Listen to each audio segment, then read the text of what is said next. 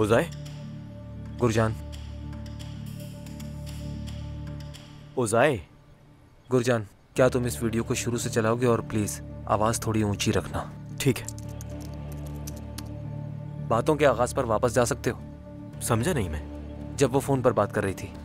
हाँ वो फ़ोन पर जो बात कर रहे थे मैंने नोटिस नहीं किया। गुरजान जल्दी करो जल्दी। ठीक है।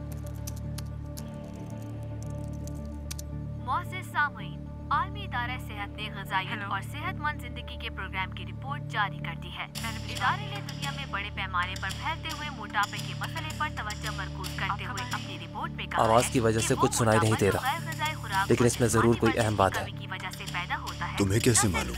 पता नहीं, बस लग रहा है मुझे। बल्कि बुलंद फिशारे खून और दिल के आर्जे जैसी खतरनाक बीमारियों का भी सबब बन सकता है कहीं ये कभी कभी तुम इस तरह की बातें करते हो कि मुझे हँसी आ जाती है उन पे पहली बार किसी तज्जिएकार को ऐसा कहते हुए देख रहा हूँ मैं।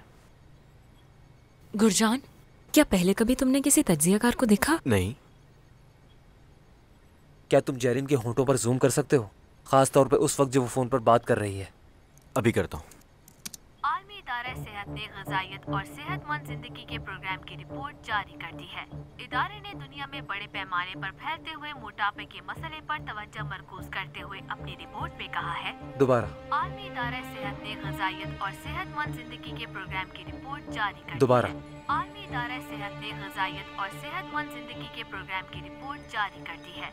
इदारे ने दुनिया में बड़े पैमाने। पर आलमी इदारा सेहत ने गजाइत और सेहतमंद ज़िंदगी के प्रोग्राम की रिपोर्ट जारी कर दी है।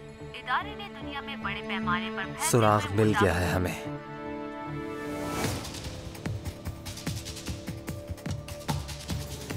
आप सब लोग मेरे साथ आइए बहुत अहम बात करनी है।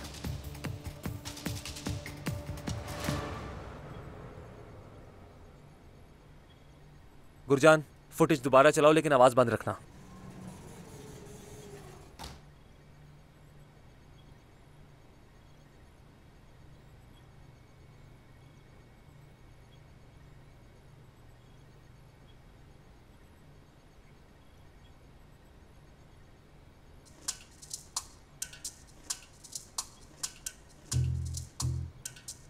मैं समझ नहीं पा रहा ये सब चल क्या रहा है?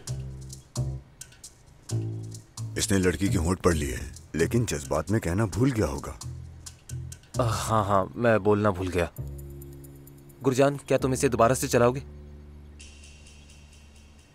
हेलो लेआल मैंने अभी तुम्हारा मैसेज देखा है।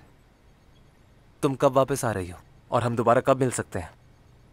लेआल अनकरा में है।